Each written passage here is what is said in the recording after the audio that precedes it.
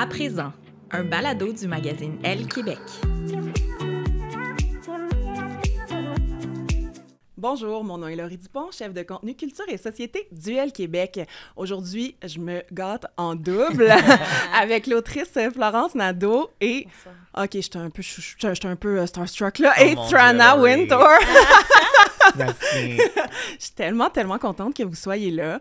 C'est suite, en fait, à euh, des articles que tu écris sur le web Duel Québec sur les seins, en fait, qui s'appelle Au cœur du buste, qu'on a eu l'idée de faire ce podcast-là. Veux-tu m'expliquer un peu c'est quoi la chronique Au cœur du buste? Oui, absolument. Je tiens à mentionner que moi, je voulais que ce soit un truc avec les boules. On Oui. m'a dit que c'était trop euh, vulgaire. Fait que j'ai dû changer. Oui. Mais au fond de moi, je voulais que ce soit quelque chose avec le mot boule. Je sais pas si c'est plus. Ben aujourd'hui, tu peux dire le mot boule, Boule. aussi souvent que tu veux. Merci beaucoup. Merci. ça. Euh, en fait, oui, c'est ça. euh, genre, euh, on m'a parlé en fait d'écrire pour le L, puis je me disais qu'est-ce que j'aurais aimé lire comme moi plus jeune? Puis je pense qu'on grandit toutes avec comme des anecdotes sur nos seins, sur comment elles sont perçues, comment on vit avec eux. Ouais. Puis souvent, c'est loufoque, mais on en parle pas trop. On en parle avec nos amis de filles, puis on est comme, oh my god, il m'est arrivé ça. J'ai- J'étais dans Ouais. l'eau, j'ai perdu mon haut de maillot, puis mon oncle m'a vu. Puis on garde ça entre nous autres, tu sais, puis on est comme. Mais j'étais comme, Hum, je pense que ça intéresse tout le monde. Puis, puis c'est ça, c'était- j'avais l'impression que c'était soit des anecdotes qu'on se disait entre amis ou on en parlait d'une façon très comme médicale ou même de façon sexualisée. Fait que moi, j'étais comme, Ah, je pense qu'il y aurait un bon entre-deux à, à pouvoir juste comme démocratiser la boule. Yes! Euh, fait que c'est comme ça, puis là, je me suis dit, on pourrait en parler. Genre, je pense que tout le monde a une bonne anecdote avec ses seins. Je pense que tout le monde en a une, une petite affaire qui est gravée dans sa mémoire, tu sais. Puis, euh, donc euh, voilà, je me suis lancée. J'ai rencontré des gens et je parle de boule avec plein de monde maintenant. C'est superbe. Et là, je t'ai dit, hey, on fait un podcast avec ça, c'est trop intéressant de parler de seins euh, de façon décomplexée. Et là, tu m'as dit que tu avais pensé à Trana pour faire le podcast et j'ai fait. Alléluia! Mais c'est tellement une bonne idée. Quand tu été approchée puis qu'on t'a dit qu'on allait parler pendant presque une heure de boule, c'est, euh, quand, quand, quand, quand- qu'en as-tu pensé? Mais Florence me l'a pas présenté comme ça. Um, mais parce que j'adore Florence, alors Ouais. quand elle m'a demandé de faire ça, évidemment, j'ai dit oui. Oui. Mais c'est seulement après que je me suis demandé pourquoi moi? Parce que j'en ai pas, j'en ai pas de sein. Mais justement, c'est peut-être moi, c'est là que j'ai trouvé que c'était intéressant. Mhm. Tu sais, euh, t'as fait ta transition sans hormones, Oui. sans opération, Oui. ce qui était un choix complètement conscient. Oui. Mais je t'entends te dire dans un précédent balado que pour toi, c'est super clair, mais pour certaines personnes, ça, y a, ça a euh, une certaine ambiguïté. Oui, parce que je pense que pour la plupart de nous, la vision de l'identité de genre, c'est tellement relié au visuel. Comme on a tous appris les codes visuels de qu'est-ce qui est un homme, qu'est-ce qui est une femme, et pour les personnes qui ne suivent pas ces codes, c'est parfois difficile d'être vu pour qui en est malgré les apparences. Complètement. Mais en même temps, quand j'y pense, c'est moi récemment, là, ça va être plus tard, là, mais récemment, j'ai vu des super photos très sexy de toi en jeans avec une Camille. Oui. quelque chose de super assumé. J'ai adoré. Tu joues quand même avec ça, là. Tu Oui. t'amuses Mais dans ces pense- codes-là. Oui, absolument, parce que je pense qu'il y a également, pour moi, de toute façon, beaucoup de joie à exprimer ma féminité. Ouais. Pour moi, c'est vraiment un joie et un plaisir. Et je pense, même si c'est pas mon intention, je pense que aussi pour des personnes marginalisées, Ouais. il y a quelque chose de puissant justement dans le processus de nous assumer et de se montrer. Oui. Um, même si c'est pas mon intention, mon intention, je veux juste de l'attention. um, you know, je veux vivre comme ma sensualité, ma sexualité d'une manière publique parce qu'il y a un côté de moi qui est quand même exhibitionniste, comme ça me turn on de me montrer aussi. Um, but je trouve encore une fois qu'il y a une dimension super puissante pour les personnes marginalisées de s'assumer et d'assumer leur sensualité et sexualité aussi. Particulièrement pour les personnes trans parce que je pense que c'est souvent comme, you know, c'est une des catégories porno le plus populaire, mais ça demeure quelque chose comme de underground, particulièrement pour les hommes, ces gens hétéros qui sont attirés par les femmes trans. Il y a beaucoup de honte, il y a beaucoup de peur que ça veut dire qu'ils sont gays, alors ils veulent le cacher. Alors, je pense qu'il y a quelque chose quand même d'assez punk pour les personnes Ouais. trans de, de célébrer leur sensualité. Mais encore une fois, c'est pas mon intention, je veux juste de l'attention. Mais tu vois, tu dis que ça fait du bien aux personnes marginalisées. Moi, ça me fait même du bien à moi. de voir tes photos. Je me dis, ah, mais ah oui, ah, tabarnouche, tu sais. Oui, Mais pour moi c'est sincèrement, quand je vois le monde qui, qui se dévoile de cette manière sur les réseaux sociaux, qui sont peut-être pas nécessairement comme typiquement Ouais. belles de la Ouais, façon que notre culture ouais. l'amène, parce que pour moi, c'est pas ma vision. Non, pour moi, comme les personnes qui qui sort hors de la norme, pour moi, ça, c'est les personnes les plus sexy au monde. Um, mais justement, je pense que pour moi, c'est toujours quelque chose que j'aime voir parce qu'on a tellement l'habitude juste de voir les mêmes corps. Oui. Les, les mêmes corps tout le temps qui sont comme magazine perfect. Encore une fois, de la façon qu'on l'a appris.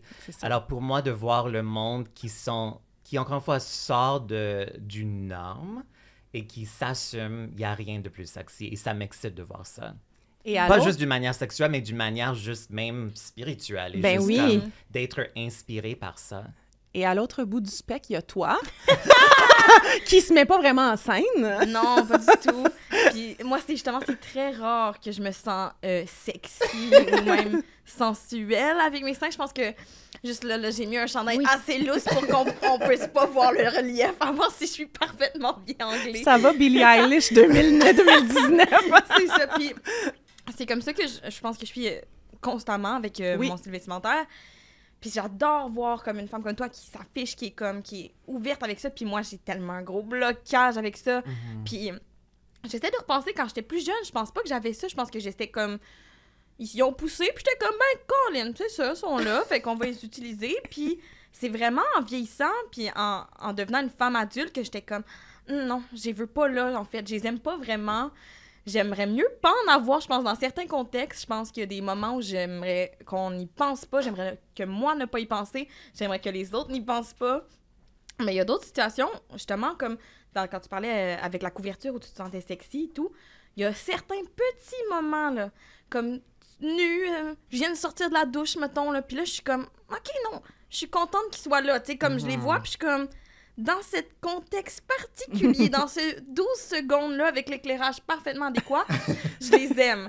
Mais c'est très rare, puis c'est vraiment pas quelque chose que je sais comment. Même, même genre, quand on me fait des commentaires. ah, c'est rare qu'on ait comme gros rack superbe, mais, mais. mais même quand je vois comme, tu comme quelqu'un. Un petit regard ou quoi que ce soit, là, ça, je peux y penser des, des mois, là. Qu'on m'a subtilement un petit regard, je me dis, oh mon Dieu, j'aurais dû mieux les cacher aujourd'hui. C'est vraiment pas quelque chose que je suis capable, je pense, de cé- célébrer. Euh, même si je pourrais, puis même si je pense que j'ai, je pense, cette capacité-là, je le vois, là, genre mon 12 secondes devant la douche, que je pourrais Mhm. apprendre à les aimer ou apprendre à être comme que ça fait partie de moi. Mais c'est vraiment pas constant, puis c'est vraiment pas quelque chose de- que je comprends même avec moi-même de où je me positionne par rapport à eux. Euh, fait que c'est pour ça que je me suis dit, quand je t'ai invité, ben, quand je t'ai pensé à toi, je me suis dit, je pense qu'on aurait complètement des visions différentes, puis qu'on pourrait sûrement se rejoindre à certains endroits, mais aussi euh, à d'autres places, pas du tout. Sûrement. Mais est-ce que tu es voilà. capable de mettre le doigt sur une des raisons pour lesquelles, quand quelqu'un, là, mettons le moi, là, je te regarde tes seins présentement, là, comment tu le vis, est-ce que tu es Mhm. capable de mettre le doigt sur le pourquoi ça te dérange? Euh, je pense que c'est- tellement associé à, à la sexualité aussi, on Ouais. les sexualise beaucoup. Puis euh, je pense que aussi, genre, il y a peut-être une partie là, de. euh, je suis- je suis une femme lesbienne, fait que là, des fois, je veux pas non plus, moi, regarder une femme, puis qu'on pense que je regarde juste ses seins ou Mhm. qu'on Tu veux pas que- l'objectiver? Oui, puis je sais que là, c'est tout moi là, qui, comme. Mhm. Oui, ah oui. C'est des layers et des Oui. layers. Mais je voudrais jamais qu'on pense ça, que je fais ça chez une femme, puis je voudrais pas qu'on le fasse à moi non plus. Puis quand je vois quelqu'un me regarder, je me dis, oh mon Dieu. J'espère qu'ils sont pas en train de penser à ce que, à quoi mes seins ressemblent en dessous, parce qu'en dessous, c'est vraiment. Ils sont pas sick, ils sont pas. They're not good, là. Il y a personne qui check ça. Come on. Je suis sûre pour certains, ils sont comme super, mais j'ai pas appris encore, en tout cas, à les aimer de façon à ce que. à être fière de, de mes seins, je pense pas. Puis euh, à mettre le doigt dessus, c'est une question auquel, genre, je me, justement, j'ai l'impression que je m'en, j'y pense pas trop, je la laisse là, justement. Puis qui je me questionne, pourquoi j'aime autant en parler chez les autres? C'est parce que Mm. ça m'évite, Oui, moi, oui, oui. Mm. Ben de confronter mes démons.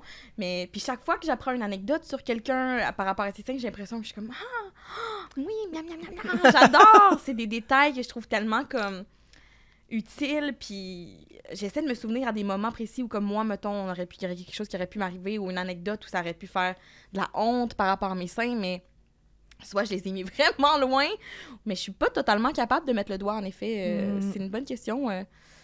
Ben là, t'as du, t'as du temps. J'ai du T'as du temps. Ah, J'ai de la psychothérapie à faire pour ça, j'imagine, mais comme...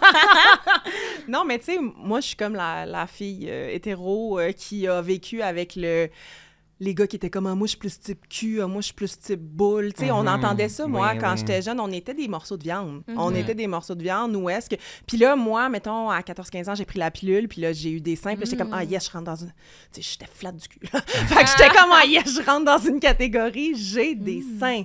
Mais c'était pas pour moi là, que je voulais des Oui. seins, Ouais. c'était pour le regard des autres que je voulais Oui. des seins. C'est quand même plate, tu sais. Puis encore aujourd'hui, mon chum adore mes seins. Il célèbre mes seins. C'est le fun, mais des fois, je suis comme, c'est un peu cliché. Tu sais, comme moi, dans ma tête, je me dis, c'est un peu cliché, là, son message. C'est un peu... je suis comme, non, mais tu sais, c'est un peu cliché de la façon qui vous... Un... Je sais pas, mettons, si je suis dans le bas d'un pont puis il y a mes seins de l'autre bord, je suis pas sûre qu'est-ce qu'il choisit, tu comprends? C'est à ce Oh, point wow. une passion. Donc, euh, c'est ça. Moi, je viens vraiment de ce... Je trouve qu'il faut normaliser. Puis c'est quand j'ai allaité, là, je sais que ça va... Non, mais c'est quand j'ai allaité que j'ai fait « Ah, c'est à ça. OK, c'est- c'est c'est à ça que ça sert. C'est Oui. C'est à ça que ça... OK, c'est pour ça qu'ils sont là. C'est pour ça qu'ils sont ici. À l'audio, c'était très haut, proche de la gorge. c'est pour ça qu'ils sont là, puis que là, je m'en sers, tu sais.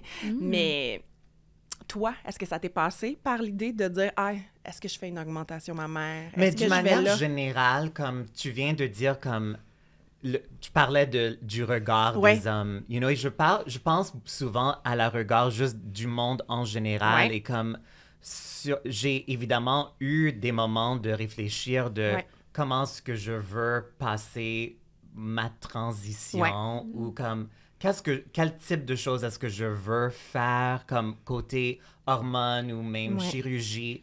Um, mais justement, pour moi, la chose la plus importante, c'est qu'il fallait que j'identifie qu'est-ce que moi je veux. Parce que je veux pas faire quelque chose à mon corps juste pour la- le regard des autres, juste pour être plus comprenable par les autres personnes, parce que c'est pas une raison de faire n'importe quoi à soi-même. Wow. C'est jamais la bonne raison ou la bonne motivation de faire quelque chose de mon avis, de toute façon. Comme moi, je veux rien faire à moi, moi, je veux rien changer pour les autres. Il faut vraiment que ça vienne de moi. Um, mais j'ai un mémoire comme quand j'avais, je pense que j'avais 8 ans. C'est vraiment un, un mémoire qui existe sans aucun contexte vraiment. Mais j'avais mis comme des boules de, de Kleenex dans ma chemise. Je portais comme un euh, turtleneck euh, bleu foncé, je m'en souviens.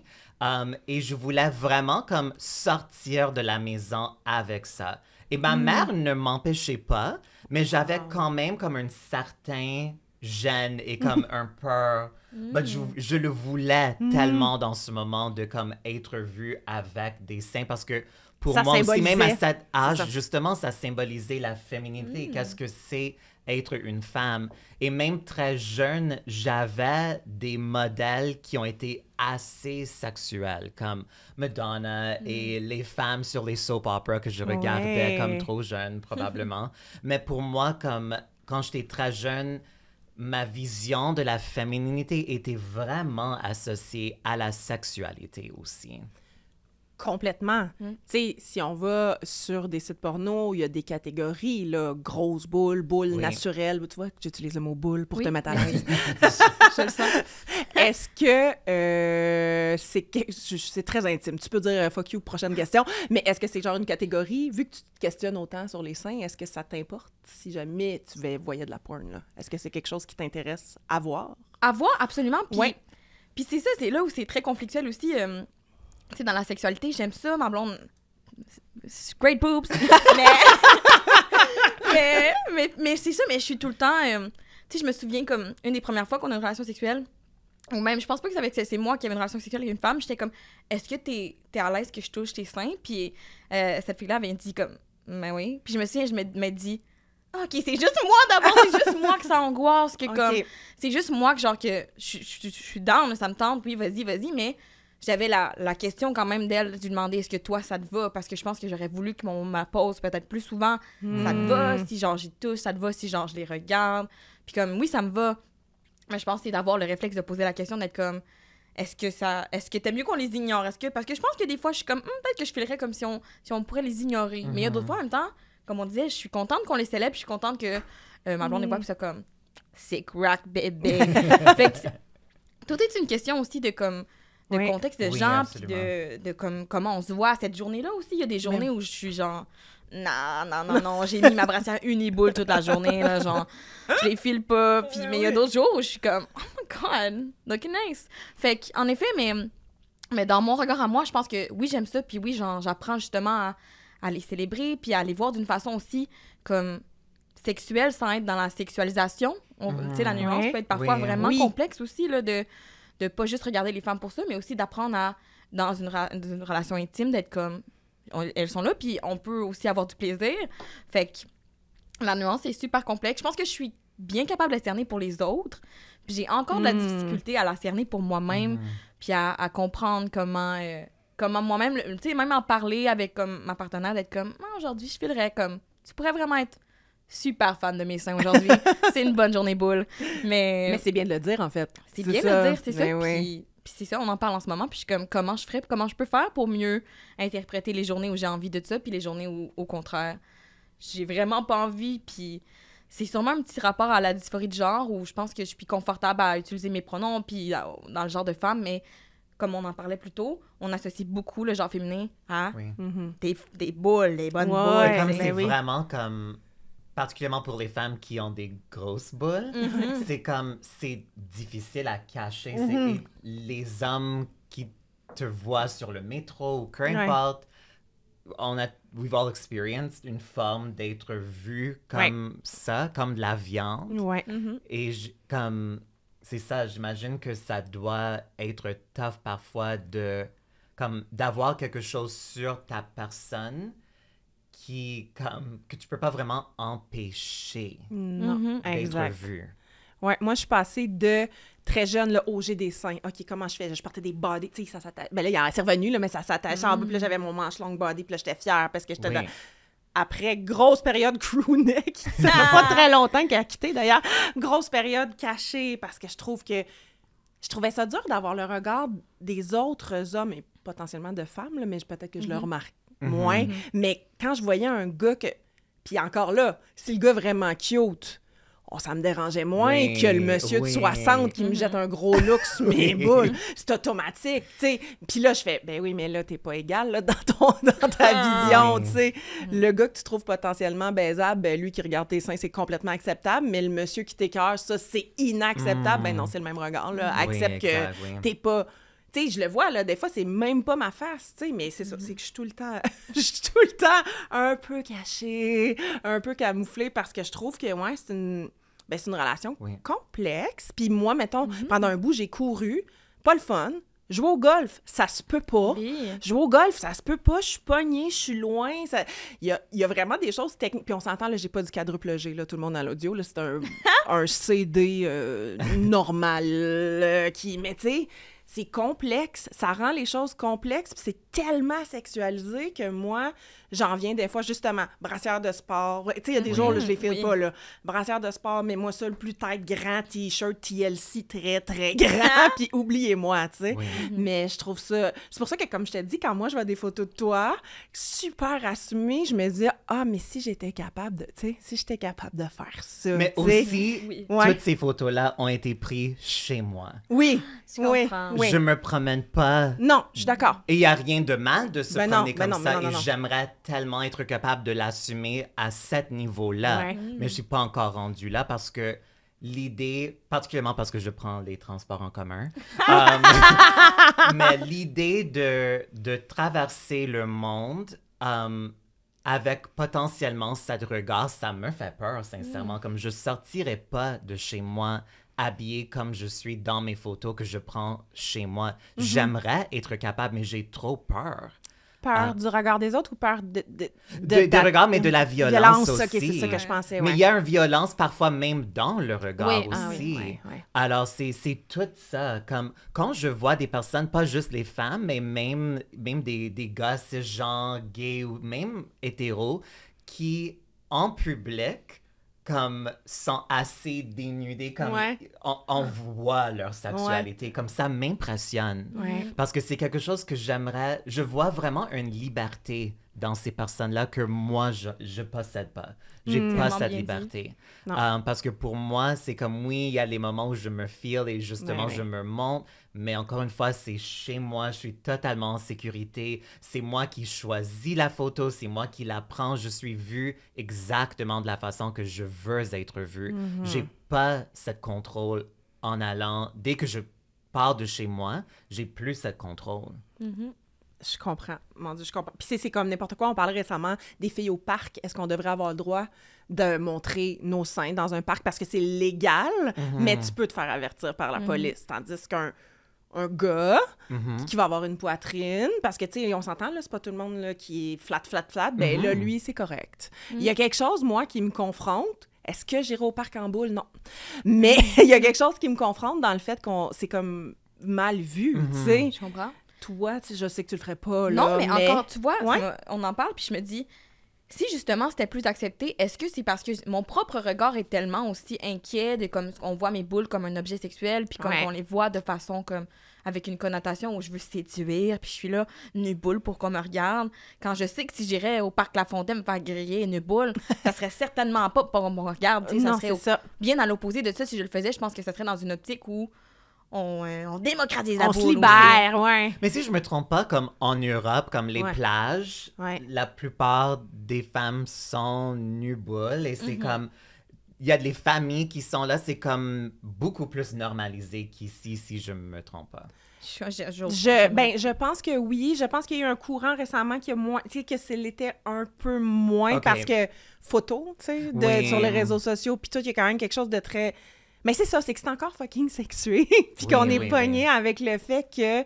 Ben, j'aurais pas envie là, que un- quelqu'un de random filme la plage puis qu'on me retrouve Mhm, un bon mané en arrière. Puis tu sais, ça serait pas grave. Tu sais, quand j'y pense, là, techniquement, ça Oui. serait pas grave, là. Tu sais, Mhm. moi, je suis quand même fière de ma poitrine. J'ai allaité une enfant qui voulait, l'autre, ça ne tentait pas tant. Mais tu sais, je veux dire, je suis fière de ce qu'elles ont. Tu sais, comme quand une femme va dire, je suis fière de mon ventre, même s'il y a des, des vergetures Oui, parce oui. que Mhm. ça a apporté la vie. Mais moi, ces seins-là, ils, ils ont, ils ont nourri. Je trouve ça fou quand je pense. Ils ont comme nourri quelqu'un. absolument. Je pouvais dormir, elle se nourrissait. Il y a quelque chose de, Ah. tu sais, il y a pu- quelque chose de puissant pour moi là-dedans. Je pense que je les, même si ben, mes boules ont légèrement descendu depuis l'allaitement, mais pas là, pas, euh, ça va là, ça va. Là. Mais tu sais, même si ça allait, je pense que je les aime encore, puis je les feel vraiment. Mais demeure que, tu sais, des fois, je me dis, ah, un redrapage. Tu sais, là, tu vas passer des affaires, ah, un redrapage. Je fais ça, un redrapage? Puis là, mon chum est comme, mais voyons!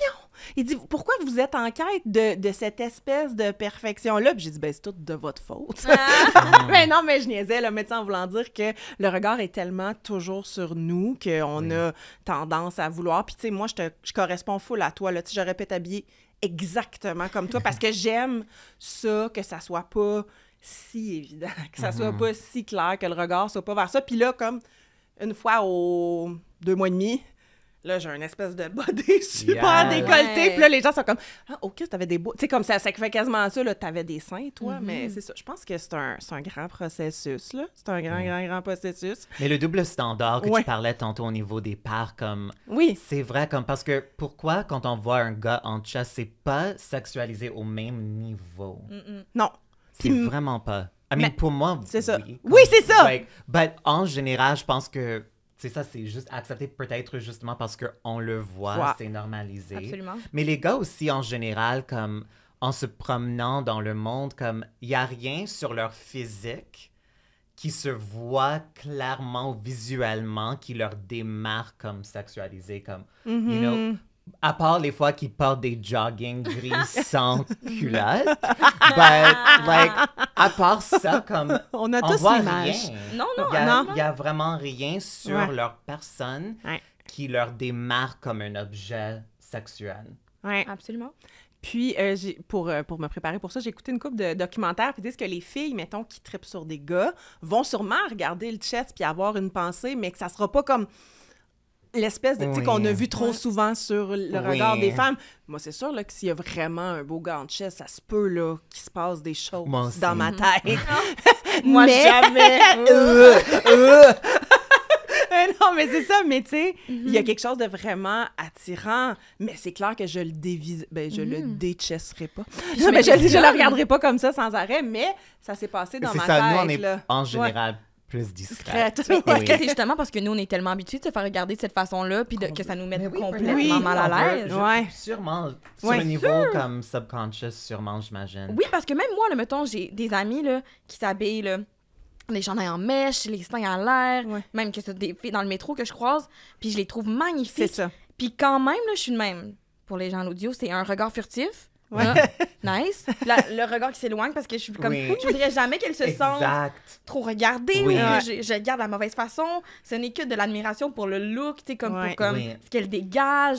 Fait que je me dis, je pense qu'on a un peu le même réflexe de vouloir jamais regarder un homme en chest puis être comme. Yeah, mais comme je voudrais jamais qu'un un, un homme qui qu'il se soit se sente pas bien ou se sente exact. regardé. Mm. Puis moi, j'aime les seins des femmes, là, pour vrai, très, très honnêtement, je trouve ça magnifique. Fait que, mettons, à Oshiaga, j'ai beaucoup de plaisir. Parce que je suis over-stimulée. À un moment donné, je les vois plus, parce que pour vrai, c'est beaucoup, mais pendant un, un bout, je me dis, ah, ah, ah, wow. Je, je trouve ça, je trouve ça si beau, là. Une poitrine de femme, je trouve ça magnifique, mais je me demande, moi-même, si mon construit est pas basé, tu sais, hétéronormatif, Mais des oui, gars on a- qui aiment les seins, tu sais. C'est impossible d'éviter Ouais. ce type d'éducation. On le Ouais. reçoit tous à travers les médias. Heureusement, les choses changent maintenant. J'espère que pour les jeunes, les choses qui seront apprises sont pas les mêmes choses que nous avons appris, mais encore, I mean, on apprend toujours la même chose et il n'y a pas une manière de l'échapper. Ouais. On apprend tous cette bagage-là et comme adulte, c'est comme un peu notre responsabilité de, de déprogrammer toutes ces idées-là Oui. qui sont tellement sinistres et qui rentrent tellement sur le niveau subconscient. So, c'est comme, c'est pas possible d'éviter ces types de messages. Ça me. Ben, c'est ça, on dirait que tout ça, ça me rend. Ça me rend. Ben, pas triste, mais tu sais, justement, moi, j'ai deux filles. Puis là, j'ai- tu sais, ils sont comme maman, est-ce que genre des seins comme toi? Puis là, je suis comme, oh, ça, c'est random comme question. Là, aucun- je peux pas. euh, je peux aucunement dire, là. Je peux aucunement dire, mais on voit qu'ils ont une. Je le vois déjà, là, j'ai jamais parlé de ça. j'ai- Ils ont une aspiration. Ils ont une aspiration à avoir des seins. Oui.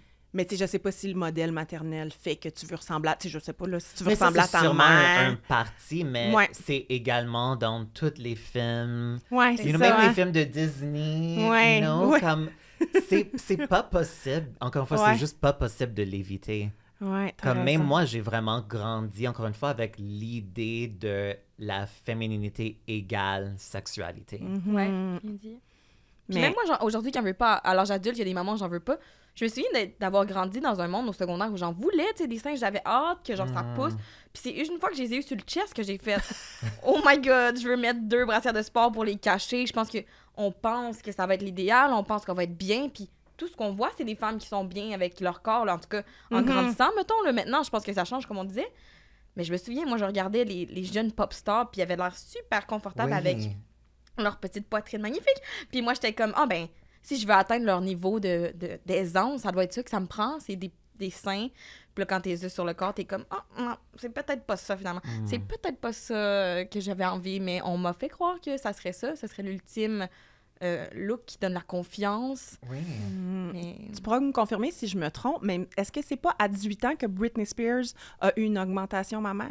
Mais ça n'a jamais été confirmé. Mais genre... Mais genre, oui. En théorie, En oui. théorie, oui. Tu sais, quand même, moi, je me souviens que c'est dans les images de femmes... Ben, tu sais, oui, il y a eu Madonna puis tout ça, mais tu sais, Britney a quand même marqué quelque chose de précis dans mon adolescence-ish, puis je m'étais dit, OK, ça, c'est un... Je me souviens jeune, le, le souvenir de... Ah, ça, c'est un corps de rêve. Je me Oui. souviens que je m'étais dit ça. Mais oui, moi aussi. Ouais. Et j'imagine qu'on a probablement aux alentours Mm. des- du même âge, Mm-hmm. mais euh, justement pour moi, comme à l'école secondaire, c'était l'époque de Britney, J-Lo, Ouais. Christina. Ouais, J-Lo. Euh, Mm-hmm. Et c'était tellement une époque, sincèrement, où c'était uniquement, dans la culture pop, c'était uniquement des images hyper masculins ou hyper Ah. féminins. Il y avait rien dans le milieu. Il y avait personne qui jouait avec l'identité de genre. Mm. C'était tellement mal vu à cette époque, comme si t'as tombé pas dans une boîte ou une autre. Ouais. Alors, pour moi, c'est comme toutes ces images de ces femmes-là que j'adore et j'admire, mais ça m'a vraiment fait quelque chose, Mm. sincèrement, de, de penser que ça, c'était la seule façon d'être une femme valable ou valide. C'est drôle parce que le chandail que tu portes, c'est Oui. Alanis. Oui. Moi, ça a été probablement, comme toi, mon idole de, de jeunesse. Puis moi, j'ai aimé les grands chandails, Oui. les cheveux longs d'en face, Mais heureusement, look un j'avais peu Alanis trash. pour, ramener, Oui, pour me ben, ramener c'est sur ça. Terre et ce qui est réel. Ben, c'est ça, mais moi, cette femme-là, je me souviens quand je me suis dit, ah, c'est aussi ça. Puis là, je suis allée m'habiller dans les friperies. J'avais des chandails de, de grand-père, j'avais des espèces de vieux pantalons carottés. Tu sais, genre, je m'habillais vraiment comme elle. Puis je trouvais ça le fun parce que c'était. Je veux dire, oui, j'avais un look encore un féminin, mais un peu moins clair, tu sais, que mes autres amis qui s'habillaient en Jacob Oui. avec le petit Ouais. truc très, très, très... Puis ça me faisait du bien, là, d'être un peu différente. Mhm. Puis ça me permettait de me cacher, tu sais. Je, je- j'avais besoin, tu sais, jouais au basket, j'avais un... Tu sais, je prenais toujours la camisole plus grande pour Oui. pas qu'on... Mais après, la camisole plus grande faisait qu'on... Tu sais, Oui. c'était tout ça. Mais Ah, pour mon Dieu, moi, je ce trouvais qui ça était complexe. attirant, c'est que Oui.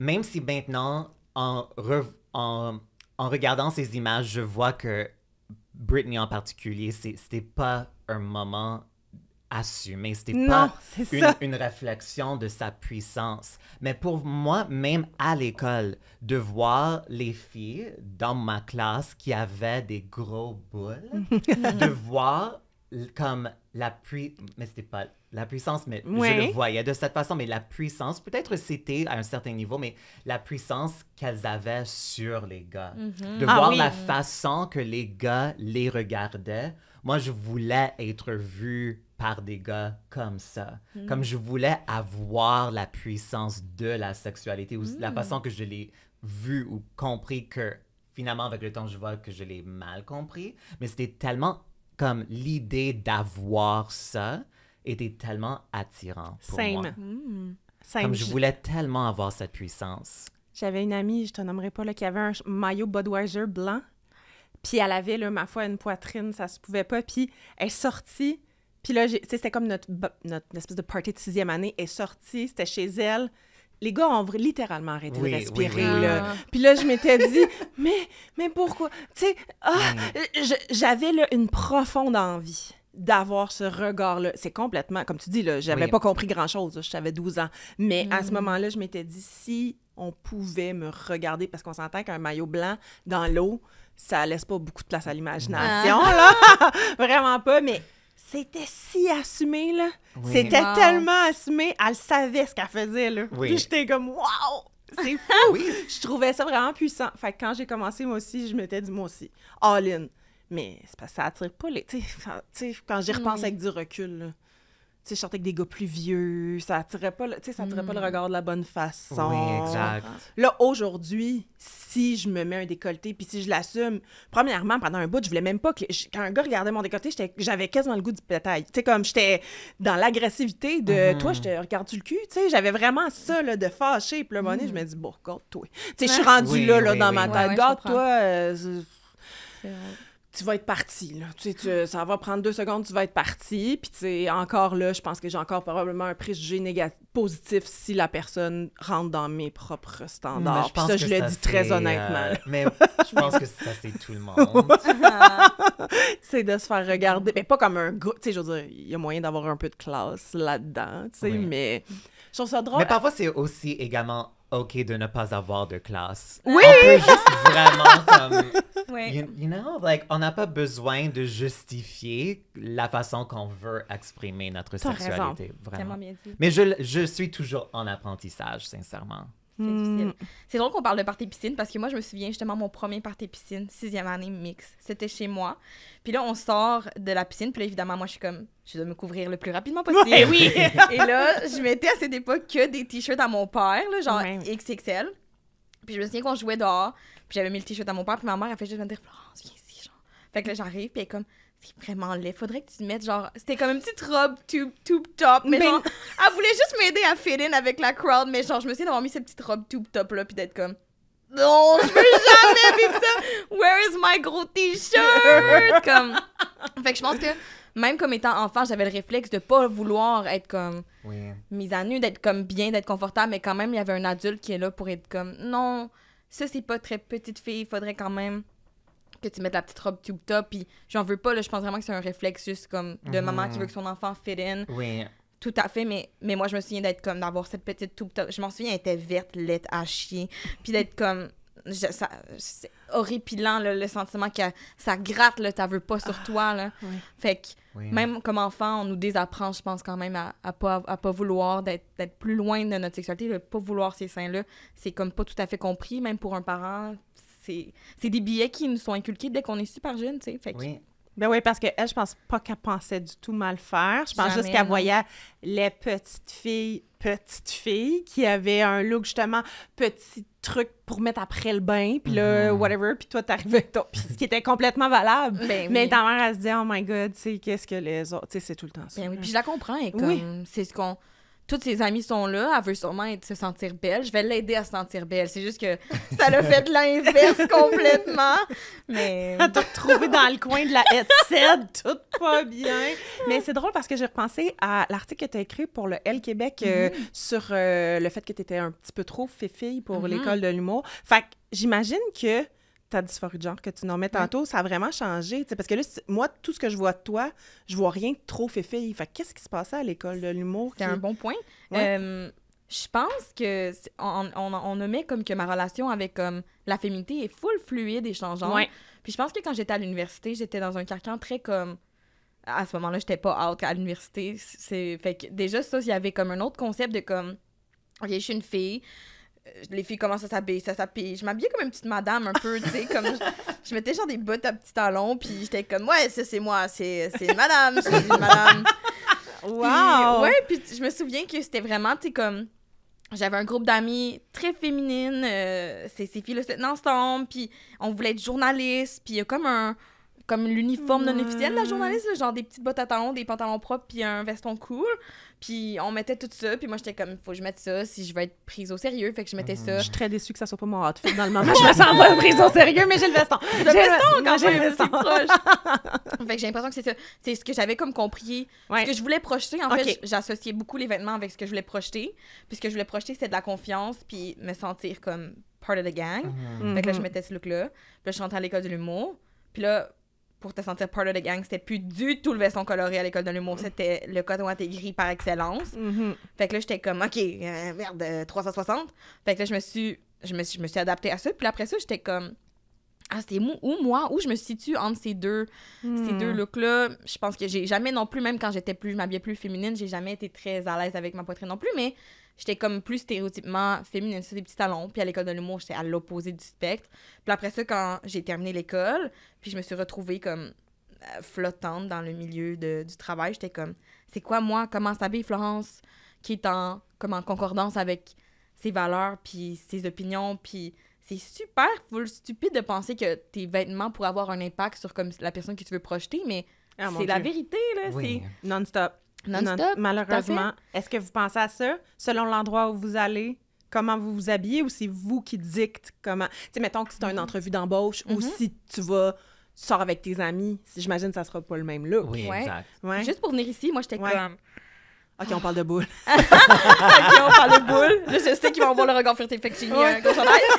Mais j'étais comme, oh, c'est quoi le parfait look pour être comme juste assez comme cool, mais pas trop, puis genre pas avoir l'air trop d'une grosse lesbienne avec mon gros t-shirt de magasin. là, j'étais même, oh non! Oh, man, j'ai vraiment comme, j'étais comme, vraiment, je m'appelle, je m'habille, puis elle était comme, je sais pas, tu veux être comme plus masculine ou plus féminine? J'étais comme, c'est déjà trop de questions! c'est déjà trop de questions! Mais je tu sais vois, pas. moi, ça, ça m'intéresse tellement. Ah. Tu te demandes. Tu sais, puis j'imagine, c'est sûr que c'est la même chose un peu pour toi aussi, tu sais, parce que j'ai tellement trouvé ça intéressant quand tu disais que tu revendiques quand même d'avoir une partie de toi qui est non-binaire. Tu sais, Mhm, que oui. tu veux pouvoir, oui, être femme, mais qu'il y a un X pourcentage de toi qui veut pas s'identifier puis gossez-moi pas avec ça. Puis j'ai tellement trouvé ça le fun Oui, parce exact. que je pense qu'on a peut-être tous On- et toutes une partie comme ça. en Moi, je pense sincèrement que oui. Ouais.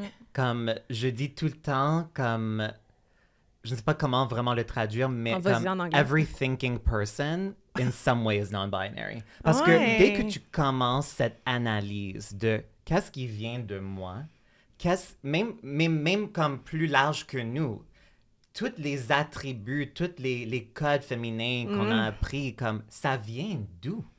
Ouais. C'est vrai. Sincèrement, il y a tellement de ces trucs-là qui sont arbitraires comme ça sort de n'importe où? Tellement. Alors pourquoi, comme, pourquoi nous mettre nous-mêmes dans ces cages-là, ça fait aucun sens? Ouais. Comme, Ça me touche moi, je tellement, trouve là. que pour moi, c'est vrai. Pour moi, à la fin de la journée, c'est vraiment une question de liberté et juste la liberté d'être sans aucune pression de, de performer une certaine idée que la société nous propose. Like, pourquoi? Ça sert à quoi? You know? Moi, je veux juste comme toujours être le plus confortable et confiante possible en tout moment. Et ça peut prendre plusieurs formes. C'est juste ça. Parce que moi, je me souviens que quand, tu sais, je suis quelqu'un de, de loud qui prend de la place, puis le kid, puis je dis les choses, tu sais, moi, c'est c'est brun, c'est brun, c'est vert, c'est vert. Puis je dis, ah, ça, c'est mon côté masculin. J'ai, tu sais, pendant Mhm. longtemps, j'ai dit ça, ça, c'est mon côté masculin. Mais ça peut-tu juste être moi en tant que C'est femme ça, qui a de la drive? exact. sais? Uh-huh. Exact. Mais je, le dédouanais en disant Oui. tout le temps, tu sais, moi, je suis upfront, je suis direct, mais c'est mon côté. Oui. C'est comme si ça, c'est permis chez les hommes. Fait que moi, j'ai pris cette qualité-là de les hommes. Non, non, je suis une femme, puis j'ai de la drive. Exact, je suis totalement d'accord. Ouais. L'idée de classer Ouais. certains caractéristiques ou certains vêtements ou certains comportements, de les classer masculin ou féminin, ça fait vraiment pas de sens. Mhm. Puis les jeunes générations, je vous rassure, là, ma fille, elle trouve ça tellement niaiseux. Là. Elle voit des gender reveals, elle a 9 ans, puis elle fait Pourquoi il pitch du rose dans les airs? Ah non, c'est Mais- Elle trouve ça. Elle trouve ça. Mais puis d'elle-même, bon, peut-être. Peut-être que ça vient un peu de moi parce que je trouve ça vraiment niaiseux, mais je suis désolée. Mais euh, elle trouve ça complètement. Ben, premièrement, pour la pollution, mais deuxièmement, elle comprend pas. Là, elle est comme, mais voyons, de l'associer à du rose. Elle dit, maman, ça fait comme 9 ans que tu me dis que, tu sais, il n'y a Ben pas de oui. couleurs qui sont Oui. associées à une fille. Puis là, elle voit des célébrations plus grandes que nature avec toutes de rose partout. Puis elle trouve ça. Mais fait que j'ai con- j'ai confiance. un Oui, moi j'ai Oui, confiance aussi. Ouais. J'ai confiance aussi, mais je pense, oh mon Dieu, les gender reveal, comme. pas pour faire un grand détour, mais sincèrement, Ah, c'est juste un phénomène dû à, à les réseaux sociaux parce Ouais. que le monde ordinaire veut se sentir spécial et avoir des événements dans leur vie qu'ils peuvent montrer sur les réseaux. Alors, ils ont inventé ça parce que ça n'existait pas. Mais non, c'est ça. Comme Ben, peux-tu tu où- imaginer dans les années 90, sans aucun contexte, tu reviens dans Oui. les années 90 et tu dis à ton médecin, Um, dis-moi pas le, le genre de mon bébé, mais l'envoyer-le à la boulangerie. like, ça fait aucun sens. Moi, ça me fait. C'est ça. Je, je- je- je suis désolée, mais ça me fait vraiment rire. Tu sais, moi, c'était comme, mettons, j'avais emballé un cadeau à ma mère, puis il y avait une suce à l'intérieur. Tu sais, c'était comme. Tu sais, c'est correct, là. Tu sais, je, trouvais ça plus drôle qu'elle qu'elle vive que que je dise je suis enceinte, oui. mais n'y a pas eu des, Oui, non, Non, non, des mais non. des feux d'artifice, puis du pitchage dans une chute de couleur bleue, puis là, ça pollue la, la rivière. Moi, tout ça, ça me met bien d'about. Je suis désolée, là, vraiment, même tout le monde. comme- là. on est les trois sans nuance. On a ça, les trois, mais C'est- de même. Mais pour comme pour revenir au bout et l'idée de comme de classer des choses comme masculin féminin comme il y a des hommes qui ont des boules, pas juste des hommes cisgenres, Oui. mais des hommes trans comme pourquoi est-ce que c'est automatiquement quelque chose féminin, femme C'est- Ouais. C'est pas nécessairement le cas. Puis, je sais pas si vous vous souvenez, mais moi, au secondaire, les gars qui étaient plus euh, gros, puis qui avaient des... On se faisait niaiser, t'as des boules, ils se faisaient pas... Tu sais, comme ils se Ben faisaient niaiser avec Mhm. ça, comme si c'était typiquement féminin, puis ça les rabaissait, Oui, parce que exact. Dieu sait qu'on est le sexe faible. Donc, quand il y avait des seins, ça les rendait moins valides, tu sais. Puis là, j'y pense, puis... Tu sais, j'ai un cousin qui se faisait vraiment niaiser avec ça parce qu'il était gros puis il avait des, des seins, tu sais. Mm. Mais c'est- fou parce qu'à l'inverse, bon, moi, il y avait le positif pour nous, là. Pour nous, c'était glorifié. Puis pour, Oui. pour une fois Oui. qu'on a un avantage, on va En le même temps, prendre. une fille qui avait pas de sein. Ah oui, c'est vrai. euh, T'as raison. gross T'as on raison. boobs, comme... Fait qu'on s'en sort pas, vraiment, on s'en sort pas, c'est ça l'affaire. Mais c'est fou à quel point la majorité des insultes et l'idée de l'intimidation revient à la haine pour les femmes, Ouais. de notre culture, des Ouais. hommes, de la société. C'est tellement ingrained. C'est fou comment tellement revient à ça. L'idée que les femmes sont inférieures. Comme Mm. presque toutes les insultes que tu peux imaginer revient à ça. But we're not. Pas du tout, c'est le contraire. oui, c'est clair. Non, non, mais c'est complètement. Puis tu reviens avec les seins. Moi, je me souviens que quand je vois des filles qui ont moins de seins, qui portent une espèce de grand décolleté jusqu'au milieu du ventre, je suis comme, c'est la plus belle chose Oui. du Tellement. monde. Je capote, mais en même temps, l'ISO qui fait la même chose, c'est aussi la plus belle chose du monde. Oui. Tu comprends? C'est juste que moi, dans mes dictats, j'ai quelque chose Oui. que le sein sagui, c'est weird, puis que là, c'est... Mais non, c'est tout si beau. C'est juste que moi, j'ai toujours trouvé là, qu'une fille qui a pas de sein, fait que fais-le. Mais ça n'aide pas aussi, non. Do it for me, please! I will, for sure. um, je sentirais peut-être pas de chez moi, mais je mettrai une photo sur Instagram. Mais ça n'aide pas aussi parce que, évidemment, l'Halloween vient de passer. Moi, j'ai Ouais. regardé plein de films d'horreur. Ça n'a pas de sens à quel point il y a tellement de zombies ou des personnages effrayants qui sont juste des femmes âgées avec des saggy tits. oh mon Dieu, pour Mais vrai! c'est dans les films d'horreur. C'est comme. C'est fou. Ben C'est non. fou à quel point c'est comme un, un visuel qui est tellement répété dans les films d'horreur. L'image de la vieille sorcière avec ses saggy tits. Like, Mais tu sais, en même temps, quand tu y penses, je sais pas, ça faisait... C'est censé faire... oui, c'est censé faire peur. peur. C'est pas juste ça, mais ça Ouais. fait partie du visuel. Mhm. Évidemment, comme c'est la face de zombie aussi, mais c'est le corps aussi. C'est la, la vieille corps. Mhm. que qui à quelque part il y a un message qui est donné comme you know c'est c'est non seulement c'est pas attirant c'est épeurant C'est terrifiant. Mais c'est tellement weird. J'aurais jamais mais pensé c'est ça. vraiment un c'est visuel bon. répété Wow, c'est comme dans bon. au moins trois que j'ai regardé Hmm. c'est comme le corps nu de la vieille Mm. femme vieille sorcière vieille zombie Moi, je te donne un défi, là, que genre dans un ou deux ans, le haut cœur du bus, c'est moi qui le fais, puis on fait l'entrevue avec toi, puis on voit où t'en es rendu. C'est un bon défi, c'est un bon défi dans genre deux ans. Deux ans, Je peut-être? travaille là-dessus. tu sais, Ok, ça sent bien. parfait. Déjà, le podcast, grosse étape. C'était comme une bonne séance de thérapie pour moi. Les prochaines étapes devraient aller plus vite. On aurait pu jaser de boule pendant ma foi là, des heures. Ça, ça a flyé comme dans une seconde. oui Merci. Merci vraiment d'être venu jaser avec moi. Merci à toi. Puis euh, je pense que peut-être la conversation va se discuter, continuer, mais à micro fermé, désolé. Merci.